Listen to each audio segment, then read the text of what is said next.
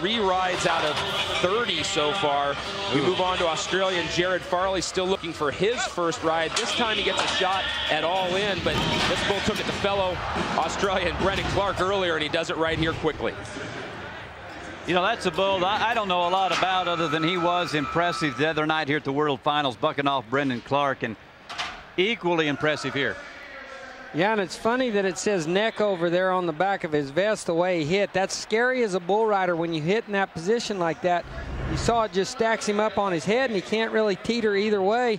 It just kind of sticks him there for a minute. And boy, it's a good thing them bullfighters were in position, and that that bull didn't really want to hook him because he was there for the taking. Alex Naccarato with that breeding program. He was one of the first people to take the Oscar bloodlines and develop a cow herd from Oscar and start raising bucking bulls, and he's been at it a long time out in California.